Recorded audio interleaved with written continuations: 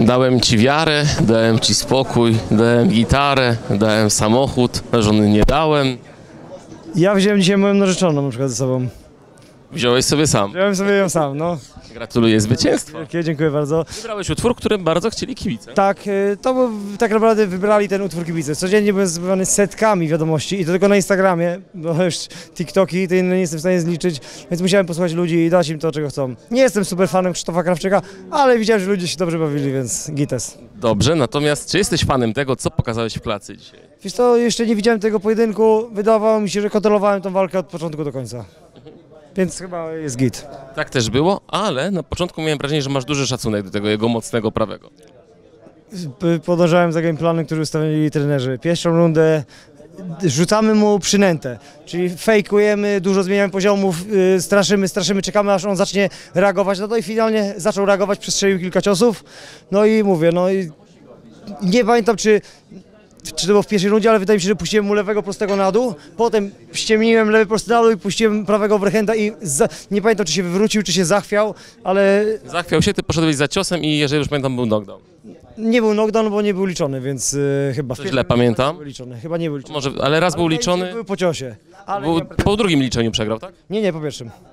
Dobra. A nie, Czy może, masz- po drugim, może po drugim, kurwa, no nie pamiętam. Znaczy, ja też już za dużo No wagi. wiesz jak to jest, no. Tak, natomiast y, czy zdziwiło cię to, że Sheligan nie wstał po tym drugim? Nie, ale wydaje mi się, że bardziej po prostu mentalnie się poddał. No tak, Super. wydaje mi się, że mentalnie się poddał. Czy to była jakaś lekcja dla niego, że nie chciał walczyć dalej? Mam nadzieję.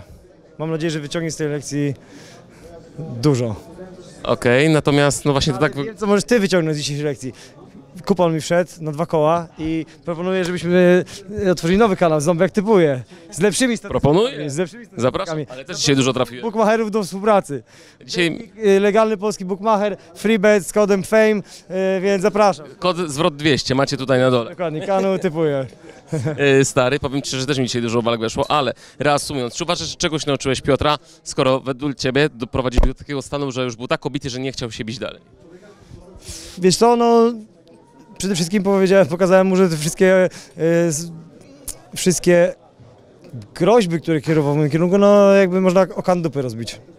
Jedyne co trafiał, to low kicki. Bardzo dużo tych low kicków przyjął. Przygotowani nie aż tak bardzo dużo, bodajże trzy albo cztery, ale ja też mu odpłaciłem kilkoma low. Powiem ci, że ja tak naliczyłem z 7, ale powiem ci, że... No. Tak, tak, tak, ale był taki moment, gdzie raz cię obróciłem, wszyscy takie oj! No nie, nie, nie, nie, ale potem to już się rzuciłem na niego i on w ogóle był bezgardy w tym. Mam takie przybłyski, no mówię, On tak dobrze kopie, czy po prostu nie, zdąży, nie chciałeś na przykład się nadać na prawego sierpa, to y, na, na jedno tempo, kopnął mi raz, kopnął chyba drugi i mówię, okej, teraz, teraz prawa pikieta. No i już nie pociągnął tego. Dobra, natomiast kiedy go kończyłeś, uderzyłeś kilka razy na wątrobę, jak już sędzia przeszedł, że jeszcze raz go tylko tak szybko dobiłeś, No bo nie zdąży... walczymy do, tych, dopóki sędzia nas nie rozdzieli, tak?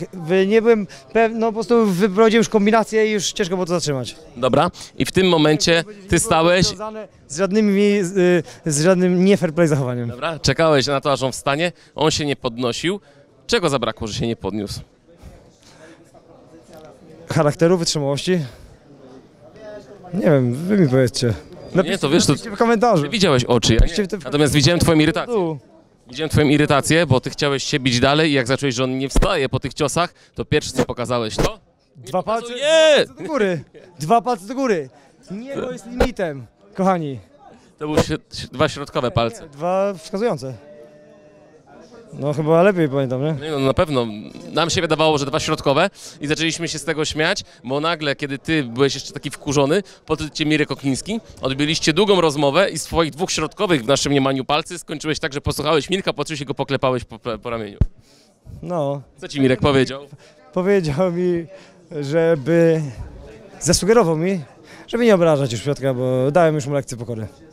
Tak ci powiedział? Z racji wielkiego szacunku do trenera, do jego osiągnięć, do jego persony, do jego charyzmy i do tego, że go po prostu lubię po ludzku, powiedziałem okej.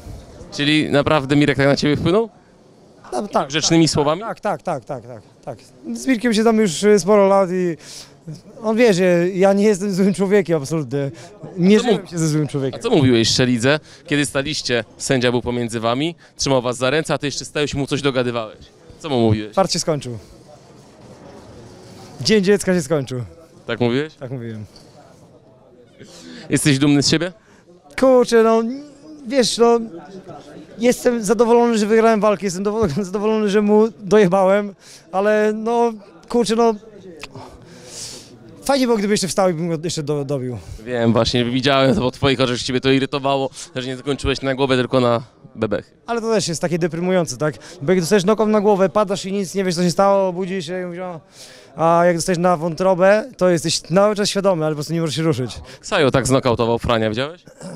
Nie widziałem, ale postawiłem na kuponie moim. No ale ten lewy sierpowy knockout Gali to taki zdecydowanie, no urwał głowę. No nie, nie widziałem, bo akurat byłem zobaczyć się z moimi fanami, bo, bo spory sektor przyszedł e, z moich znajomych. Słychać było, właśnie pamiętam jak ty mi powiedziałeś, że ty masz najpiękniejszą robotę, bo nic nie musisz robić, ludzie tak nienawidzą wszeligi, że od razu wszyscy są za tobą. Prawda, No ba, bardzo fajna motywacja, mam nadzieję, że część tych fanów, którzy zostali tylko z czystej nienawiści, czyli zostanie, no i, i będą Hala, wrzo. pingować Zobiaka, no. Kocham was wszystkich. Czy czułeś większe zagrożenie niż jak walczyłeś w KSW z mistrzami, ale w swojej kategorii wagowej? Nie, absolutnie nie. No tutaj było wszystko widać po prostu. Delta Optika, zobaczę te ciosy nawet w nocy, ła! A nie bałeś się strzałów? Jesteśmy bezpieczni, safety.pl! Garant profesjonalna broń! Strzał za ucha chyba, z Kałasznikowa. No właśnie wydam czy nie ma. A, nie, nie się. Oczywiście, no wiedziałem, że jak nadzieję się na ten cios, no ten zamachowy overhand, no każdy jak machnie takim cepem, a szczególnie gość, który waży stówę, yy, no to, to jest zagrożenie jakieś. Dobrze, kolejne pytanie. Artur Kornik-Sowiński to twoje wyzwanie. Ja pamiętam... Moje wyzwanie to jest Tomek Zadema Gromacki. Tomek Zadema Gromacki powiedział, nigdy nie, nigdy nie odmawiam wagi na żadnych zasadach. No to mówię, okej, no to to MMA, easy money, kurczę, będzie jedna runda i do domu. A Kornikowi po prostu sugerowałem, bo wiem, że bardzo prosi o wywiad ze mną, chodzi do wszystkich e, medii, do, był szalonego reportera, e, do, tam męczył swojego menadżera, żeby prosił szalonego reportera, w końcu się doprosił, no i szalony mówi, no twój menadżer pisał do mnie od tygodni, no to w końcu jesteś, cześć. Kornik to fajny gość, ale była między wami kość niezgody. Kornik to jest fajny gość, oczywiście. go na wędkę zaciągać, tylko że w drugą stronę. Wiem, sorry, sorry, jest, kurwa, Lata minęły, nieważne. lata minęły, ale nadal śmieszy. Dobra, przypominam, że Kornik, Nie będę wyzywał do walki gościa, którego pokonałem. Kornik jako Conor McGregor wyprzedził Freak Fighty o x lat, gdyby on wrócił do gimmiku bycia Conorem McGregorem, gdzie wszyscy chodzili w tym Tak, jeżeli będzie chodził jak Conor McGregor, no to wtedy okej, możemy to zrobić. Człowieku to samo powiedziałem na komentarzu, że jak. To jest kurde jedyna, jedyny warunek. Jeżeli będzie udawał Conora McGregora dalej, to możemy to robić. Ale to byłoby fajne, między wami też było ostro i uważam, że tu by się mogło podzieć na konferencjach. Na pewno, na pewno. Na pewno. Bo za dymą było tak. I ten wrzosek. A ty mokry sen logopedy. Ale No, tłumacz, tłumacz. Tam teraz wyzwanie Gromackiemu. Tomek za temat Gromacki, ble, ble, ble, z wrzoskiem, na najbliższej gali. Dobra, ale w K1. Bo MMA on nie weźmie, to jest logiczne. Nie, on powiedział, że bierze każdą walkę z każdym, na każdych zasadach. To kurwa z każdym, ale nie z wrzoskiem? Ja nie jestem adwokatem, ale domyślam się jaka będzie odpowiedź, więc cię tylko dopytuję, Nie, stary. czyli nie bierze z każdym na każdych zasadach. Ja tego nie wiem, ja tylko się pytam, czy wziąłbyś w K1 ty. Bo wiesz, on boksę, on pięściarz, ty MMA, K1 byłoby wyrównane? Zastanowić. To byłoby fajne. Na świata kickboxingu. Czy tam mistrzem Śląska, nie wiem. Teraz Śląsk... Dobra, nie patrz. świat jest. Pozdrawiam. Jakie przejście między mistrzem Śląska a mistrzem świata, delikatnie się pomylił, nie? Pozdro.